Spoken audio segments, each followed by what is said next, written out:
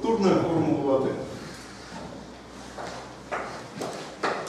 Справедливости ради, надо сказать, что вот этот угол не 90 градусов. В чем 45? дело? Не-не-не, не 45. Он э, порядка 104, то есть реально вот эти водороды чуть больше отклонились. В чем дело? Дело в том, что вот здесь электронная облако есть, хотя слабенько. Есть. Здесь есть. Какой заряд будет у электронных облаков? Ага. А что делают заряды одноименные? Вот так. Отталкивают.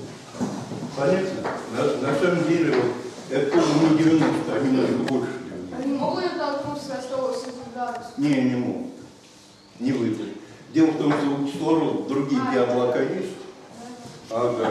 Они вот так ведь торчат. И у них тоже отрицательный заряд.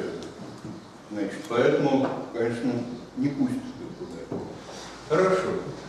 Этой небольшой разницы будем пренебрегать. Воду будем пока вот так рисовать. Так. И теперь разбираемся. Вот эта связь полярная или не полярная? Полярный, сильно полярный. Сильно полярная. Вот эта связь. В результате в районе водородов на воде какой заряд? Положительный. Именно так. А в Отрицательный. отрицательный.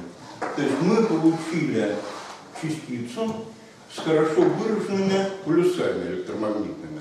В физике такие частицы, имеющие два полюса, называются диполями.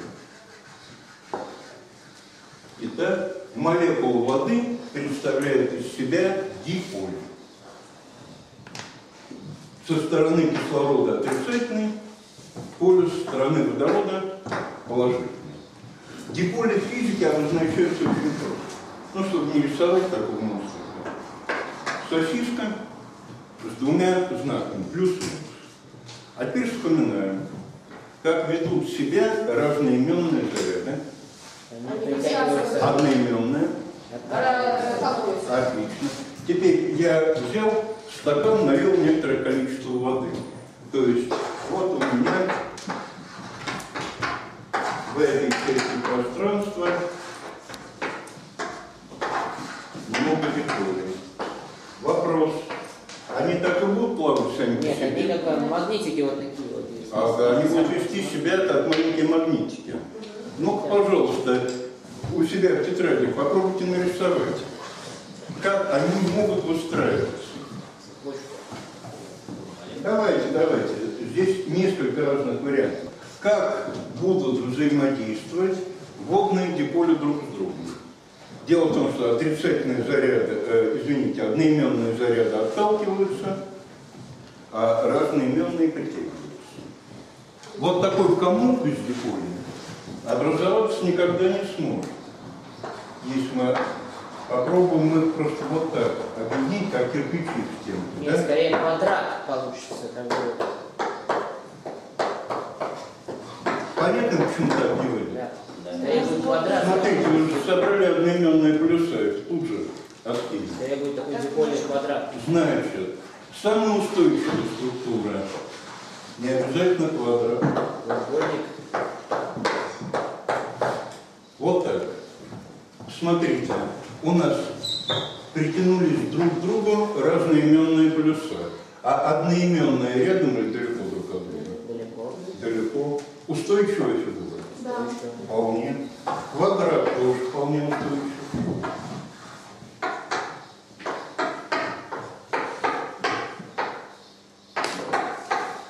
Пятиугольник. Вполне устойчив. Шестиугольник. Шестиугольник. А вот более там, крупные хороводы встречаются очень редко. И только при выполнении одного условия. В основном треугольники, квадратные пятиугольники. Да, да, да, вот в основном вот такие штуки. А больше никак. Сейчас разберемся,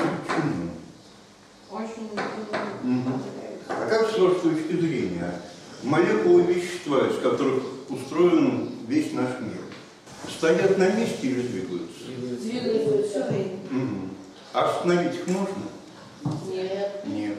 Движение остановилось. Хорошо. А от чего зависит скорость этого движения? От температуры. На самом деле, если говорить всерьез, а температура – это и есть скорость движения молекул. То, что вы называете температурой, это и есть скорость движения молекул. Если молекулы идут быстро, скорость их велика, да, То значит это высокая температура. да, тело нагрелось. Если молекулы замедляются, что с температурой? температура. Температура Значит, упала. есть самая низкая температура, Отлично. когда молекулы стоят. Именно так. Есть расчетная температура, достичь ее нельзя. Можно приближаться, ну вот в настоящее время подошли к температуре на несколько тысячных долей градусов, да, при которой молекула остановится совсем. Впервые рассчитал эту температуру э, знаменитый британский ученый Лорд снимал Абсолютный ноль. Абсолютный ноль по шкале Кельвина. Ниже температуры не бывает. Молекулу вставят. Все. Кто знает, чему примерно равен абсолютный ноль в пересчете на привычную нам шкалу Цельсия? Минус 272. и Да, 53. Там с десятками, конечно, все. Вот. А какая температура космоса вокруг нашей планеты? Примерно столько? Нет, почему? Минус Нет, ну все-таки 200. плюс 6. Только плюс 6 не по шкале Цельсия, а по какой шкале? По шкале Кельвина, Фаренгейта. У Фаренгейта 0 это температура под мышкой.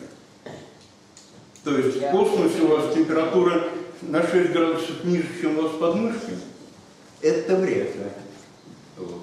Конечно, по шкале Кельвина. С нашей точки зрения чудовищный холод. При этой температуре все газы в каком состоянии? Твердо. Сначала при понижении температуры все газы сначала переходят в жидкое состояние, а потом, ребят, ведь на самом деле что такое жидкость, твердое тело и газ. Просто замедленное. Агрегатное состояние, что зависит? Это очень простая вещь. Скорость движения молекул. Конечно, от скорости движения составляет частиц. У нас две частицы при низкой температуре. При низкой температуре какая у них скорость движения? Очень маленькая. маленькая. При низкой температуре две частицы вот так летели, летели, встретились. У этой частицы есть полюс, а у этой частицы здесь полюс. Они удержатся? Держится. Температура низкая. Да?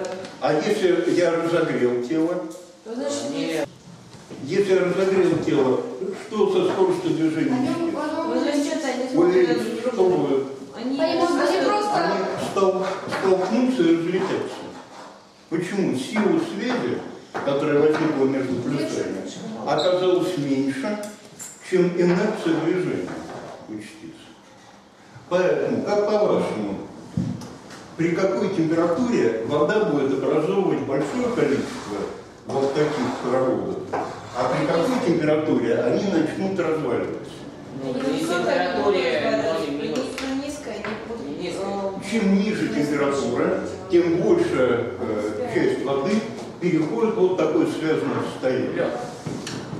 А при падении температуры ниже э, нуля градусов. по Цельсию, да, основная воды переходит просто вот такие вещи, которые выстраиваются упорядоченным образом, и мы говорим, что все, вода замерзла, во что превратился, превратился в лед. Отлично. А вот квадратиками это вода будет? Не понял? Ну, в смысле... э, Вот такого не. Не, я имею в виду сам коробка. Э, Вот это Да. и вот это, вот это треугольная композиция, вот это квадратная, шестиугольная, вокруг Если никак не соединены, то это пар. Так. А вот теперь, а теперь э, представьте себе, что не все диполи перешли хоровода. Не все. Остались бродячие. Если бродячий диполь имеет высокую скорость движения, а это значит, что он соответствует какой температуре? Высокой, да, мы нагрели, нагрели, и он летел, летел, и со всей дури врезался вот в этот хоровод. Тут вот Он распадется. распадется, при этом он подтолкнет остальных, Да. остальных подтолкнет. И все полетели в разные стороны. И начинают стыкаться в другие хороводы. Так? Тоже И разрушают. Именно так. Если мы нагреваем систему, то все меньше и меньше циклов остается в системе. Все больше бродячих диполей. Так? А когда мы отводим тепло, забираем тепло из системы, все больше останавливаются, переходит вот в такую очень состояние. Смотрите, диполи притянулись. А это что значит? А это значит, что между ними какая-то связь возникла. Вот в этих точках они как бы привязаны друг к другу. Ну и как бы ее назвать? Это ковалентная связь, которая не отпускает диполи друг от друга, или нет? Это статическая связь. Да. Понятно, что это не ковалентная. Нет. А почему не ковалентная? Чего нету? Общие. Нет общей электронной пары между этими диполями. Это ясно? Конечно, связь не ковалентная. Может быть, это ионная связь? Нет. Нет. Нет, никто не терял электрон. И никто не получил новые электроны.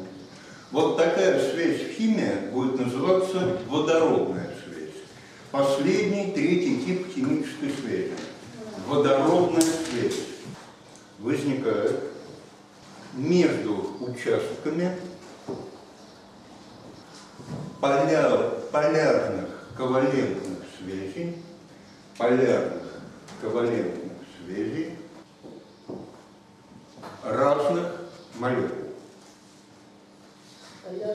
Полярных ковалентных связей разных молекул.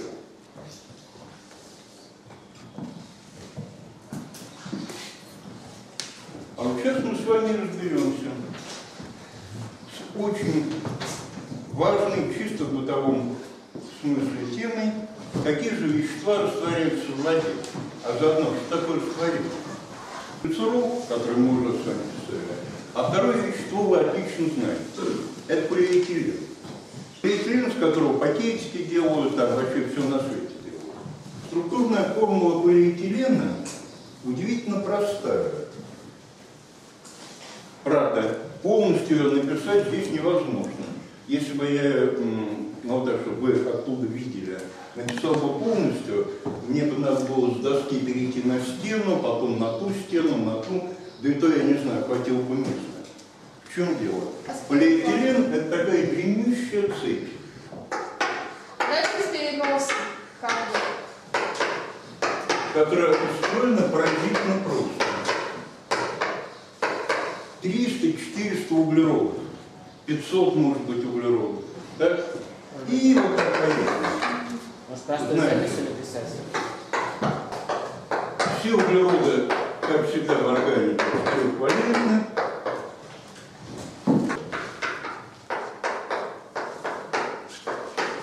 Ну, остальные мне писать потому что дальше ничего не меняется. До самого конца все будет совершенно одинаково. Единственное отличие, единственное отличие вот здесь. Обратите внимание, конце, конце конечная группировка, к этому углероду присоединено два водорода или другое количество? Три. Так? Хорошо. А весь остальной состоит из бесконечного повторения вот этой группы CH2. CH2 сшитые друг с другом, и вот такая лента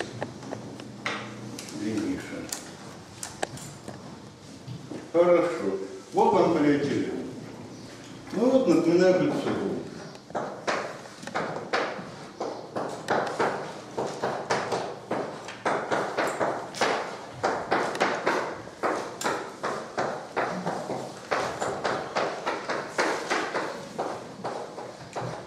Что это? Глицерин. Глицерин. Химическое, грамотное химическое название глицерол. Окончание О.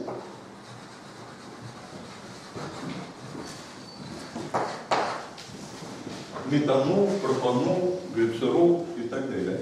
Если видите, э, нет, фенол это. Родственная спирта, но другая. Так. Хорошо, а теперь задачка. Значит, вот она структурная формула. Давайте-ка по структурной формуле прикиньте, какое вещество будет растворяться в воде и почему, а какой не будет. Что такое растворение?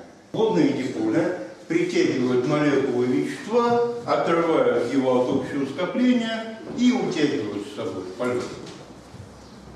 Итак, прошу. Мне кажется, что глицерол будет, а глинол не будет. Ага. Смотрите, в доске возьмите его, покажите, в каких местах глицеролу могут притянуться водные диполи.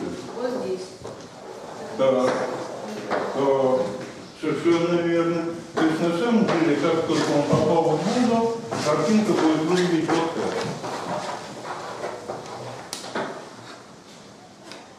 Это понятно? Да. Какими полюсами притянутся диполи к водороду? А, минусы притянут. Минусами, конечно, а кислородом, Плюсы. плюсами. Значит, в результате эта молекула оказалась покрыта буквально с одной стороны притянувшимися молекулами воды. А вот это, Нет, Нет, нет. Слабые полюса. а теперь внимание, подумать немножко. При каком условии полиэтилен начнет растворяться в воде? Очень высокой температуре. Конечно. Если мы воду нагрели, да, значит, на самом деле это будет немножко другое явление. Вода э, не будет притягиваться. Она будет просто э, из-за скорости движения рвать эти связи, разбивать. Ребят, вода с высокой температурой, обладающая высокой температурой, это не просто растворитель, это адский растворитель. Дело в том, что температура кипения воды зависит от давления. А как по-вашему, если вы нырнули под воду, да, что будет с давлением на ваше тело? Будет возрастать. А как быстро оно будет возрастать? Смотрите, э, понимаете, что над вами 100 километров атмосферы. Как по-вашему, на вас она нет? Да. Да. С какой силой? Значительно. 660. На каждый квадратный сантиметр вашего тела давление равно одному килограмму.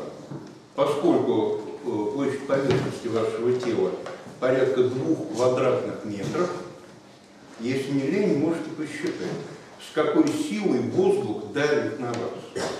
Так? Значит, наше тело на это рассчитано, мы этого не замечаем.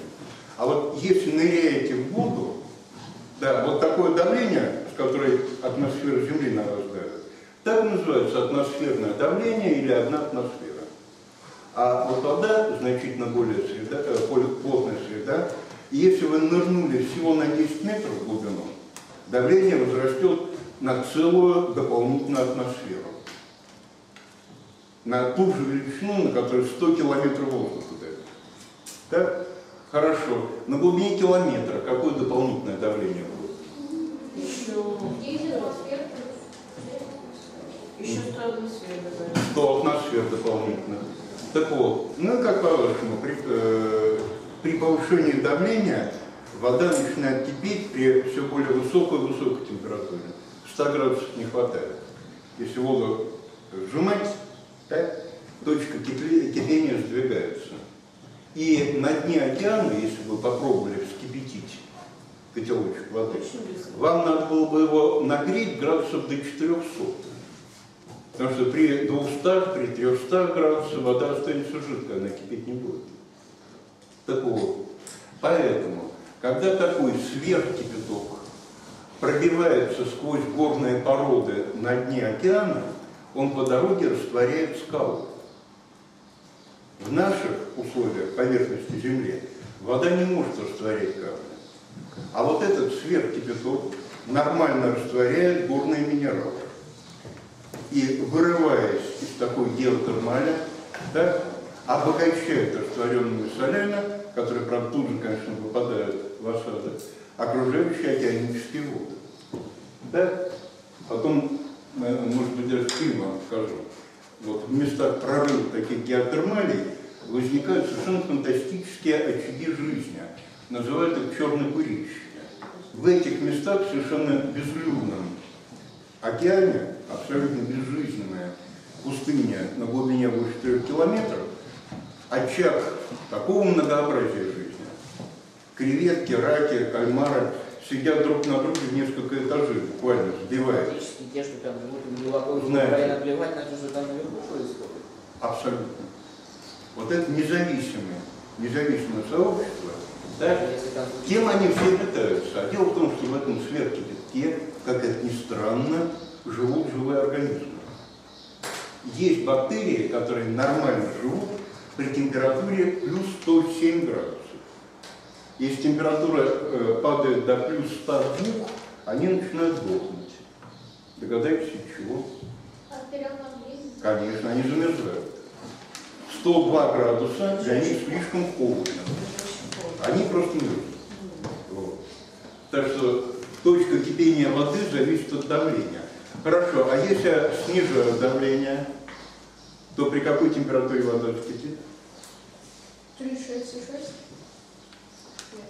Ну так я э, скажите, в горах давление такое же, как э, и... Нет. Нет, выше или ниже? Ниже, конечно, вы уменьшили стол воздуха, вы же поднялись вверх, да? Хорошо. Как по-вашему, можно ли сварить суп, ну, где-нибудь на Эвересте? Нет. А почему? Вода очень быстро вскипит. Она. Она. А, закипит, но просто будет... А нет, можно там Там специальные холодно. приспособления такие есть, крышка накрывает. ну, Нет, нет, вот в открытой кастрюле. В автоплаве, да, можно. Вода там очень быстро вскипит просто. Нет, Что значит быстро? Она испарится. Да, ребят, дело в том, что она закипеть не при 100 градусах, Да. а при 86. А при этой температуре мясо сварится, нет. а оно останется сырым. Картошка сварится, Нет. Останется сырой. То есть у вас вовсю кипит кастрюля, да? Вы в нее бросили свеклу, капусту, картошку, там, мясо, пряности, час варите, два варите, три варите, пробуете, а все сырое. Хотя вода кипит. Почему? Низкое давление. На самом деле, если очень э, глубоко снижать давление, то вода может закипеть при комнатной температуре. Есть такие видео совершенно дивные, когда проверяют костюмы э, скафандры для космонавтов. Проверку ведут в наземных барокамерах. Ну, такая большая металлическая коробка, куда человек в скафандре залезает, из нее откачивают воздух. Ну, потому что вверху-то вакуум, проверяют, хорошо ли скафандр держит. Вот. И есть хорошенькое э, видео, когда мужик проверяет скафандр, него столик внутри барокамеры, а на столике стоит э, стакан с водой. И показывают шкалу манометра, какое давление в камере. Ну и при достижении очень низкого давления, что в этом стакане начинает вода? Вода закипает. Она просто нормально кипит. Почему? Давление стало настолько низкое, что вода закипела при 20 градусах. И вот теперь еще два важнейших слоя. Теперь э, к тому, что написано на доске.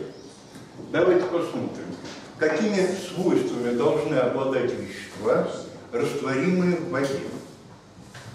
Не должны уметь, например, Какие связи должны в этих веществах быть? полярно. Полярная. Это именно так. Это вещества, имеющие сильно полярные связи, вещества, имеющие сильно полярные связи, смачиваются водой, смачиваются водой. И часто, и часто, не всегда, но часто, растворимы в воде. Вещества, имеющие сильно полярные связи, смачиваются водой. И